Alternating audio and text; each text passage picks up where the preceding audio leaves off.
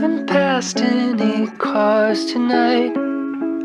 No window lights, not a soul in sight.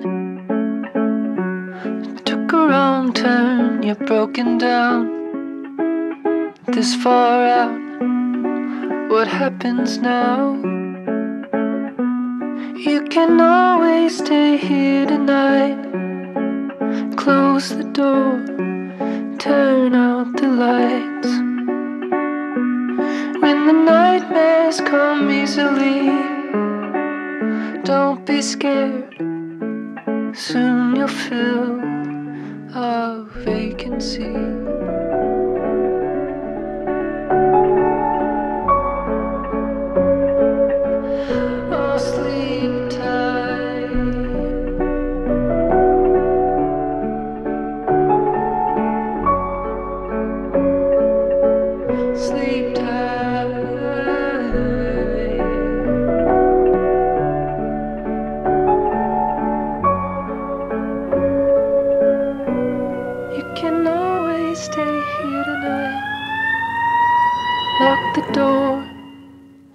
Turn out the light.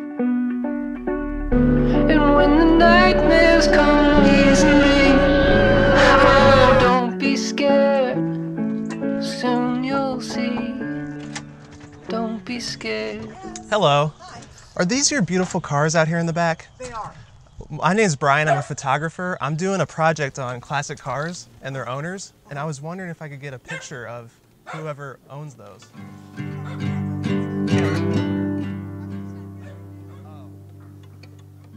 So I just picked up Joel Sternfeld's Stranger Passing, and I did it mostly because I love his work so much, but I also picked it up because I needed an intro to this video. But I picked it up because I just love the portraits that he has in there. Um, it's just everyday people doing everyday things in everyday places, and I just love that. Um, if you know me, you know that I'm doing a project about people and their classic cars. And the whole preface behind that is that I'm taking photos of people with their classic car. So I always have the conversation starter of saying, I'm doing this project about classic cars and their owners. Can I take your picture? And I kind of want to get away from that and stop using that as a crutch because I want to take portraits more like Joel Sternfeld's in Stranger Passing, just like everyday people doing everyday things. And I wanted to kind of test that out by going out to Evansville, Illinois, which is a small town in southern western Illinois. You can li- literally toss a rock from one side to the other. And uh, I wanted to go out there mainly because the people are just so relaxed and so easy to talk to, and it makes me more comfortable. So I thought it would be a good idea to go out there and try to get a portrait of a stranger without a classic car under my belt.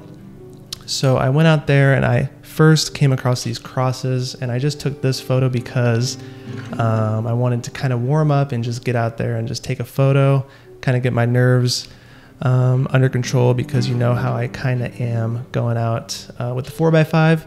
But I took this photo and it turned out pretty well. Uh, I just liked the composition. The lighting wasn't the best. It was pretty harsh, but it was a nice one to start out. Um, I took this next photo in actually Evansville in the city. Um, I liked this one because I was able to get up uh, in this bank parking lot and look down on the grain structure and the river behind it. And Joel Sternfeld is known for getting these high vantage points in American Prospects. So I kind of wanted to do that and pay homage to him because I just really like the way that it looks.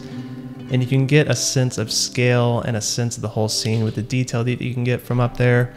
And I love the way that this one turned out. It's a lot better than the next shot that I'm going to show you, which was taken on a sidewalk looking down the road. And I'm going to show you this first shot that I took. This is the uncropped version.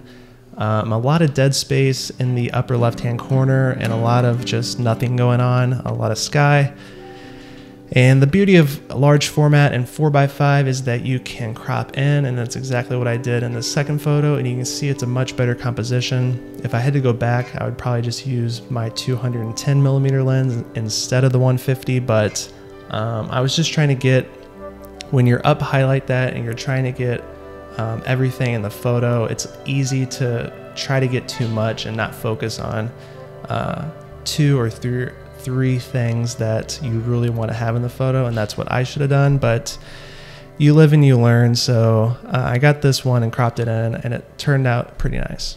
I also wanted to mention Joel Sternfeld's career in general because he did start photography in 1970 and he didn't finish this this stranger project until 2000 and that's a 30 year gap where he was starting photography learning the skill learning the trade and then finishing this project uh, in general.